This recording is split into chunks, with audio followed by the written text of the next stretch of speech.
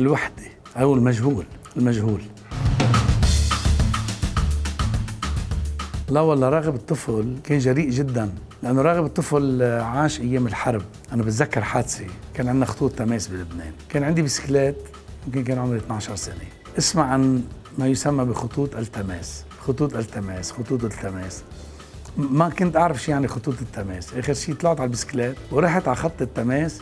شفتهم عم بيقوصوا يضربوا صواريخ على بعض. أنا كنت بيناتهم عم بتفرج. وزتيت البسكليت بالأرض وقعد بالأرض هيك اتفرج عليهم كيف عم يعملوا حرب. نوع من الحشرية يعني. كان عندي جرأة. ما كنت خاف من صوت المدافع. لأنه تعايشنا معه. يمكن يمكن أول ما بلش القواص كنا مستغربين يعني كان بالسبعينات. لكن بعدين تعودنا عليه خلص. يعني إذا في قواص بتتلطى. تتخبى بمطرح مشان ما تنصاب لكن يعني لا أصاب بالهلع أو بالانهيار ابدا. أنا ممكن كثير يكون في حدا اثنين عم يتخانقوا مع بعض وحدا حامل سلاح وقرب لقد معه لشيل له سلاحه حصلت. واحد شيل مسدس رحت لعنده قلت له أعطيني المسدس. ماسكه بإيده. مديت إيدي على إيده وشلحته إياه بحبيا يعني. إنه ما خفت كل كل خايفين.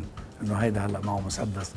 يا لطيف شو رح يعمل يقوص. فتدخلت وأنا كنت فنان مشهور جدا. إنه ما اعتبرت إنه ما خصني لا. قلت أنقذ الموقف وانقذت الموقف قدام الكل. part of my character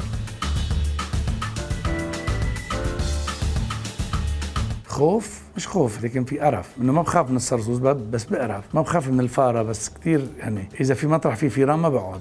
يعني ولا يمكن أقعد. هذيك مرة كنت بباريس. كنت قاعد بوحدة من أهم المقاهي في فارة قعدت قدامنا عم تجزر. فكره حالها ببيتها نضرب على أجرنا هيك مدفل. تركت المحل.